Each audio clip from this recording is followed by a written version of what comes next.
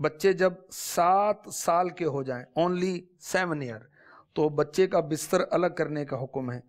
بچے بالغ کب ہوتے ہیں؟ اس کی معلومات بھی ہمیں ہونے چاہیے۔ بزرگوں کی حکایات وغیرہ سنائیں بچوں کو۔ بچے جوان ہو جائیں تو یاد رکھیں ان کی جلد شادی بھی کر دینی چاہیے، تاکہ فتنوں سے یہ بھی بچیں۔ اور ان کے فتنوں سے جو نقصانات مرتب ہوں گے، اس کی زد میں آنے سے ہم بھی بچیں۔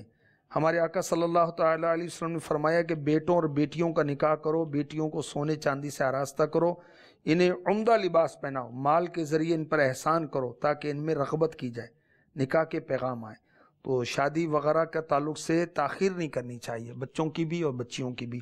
ہمارے آقا صلی اللہ علیہ وسلم نے فرمایا، جب کف مل جائے تو تم بچیوں کا نکاح ان سے کر دو۔ بچیوں کے معاملے میں ٹال مٹول آج کل آج کل مت کرو۔ تو جو تاخیر کرتے ہیں وہ درست نہیں کرتے۔ ہمارے آقا صلی اللہ تعالیٰ علیہ وسلم نے فرمایا، عورت کو کنیز بنانا ہے نکاح کرنا۔ اگر ہم بچی کی، چھوٹی بہن کی کہیں شادی کرتے ہیں تو یہ سمجھو اس مرد کی ہم کنیز بنا رہے ہیں۔ تو غور کر لینا چاہیے وہ اپنی بیٹی کو کہاں بیا رہا ہے۔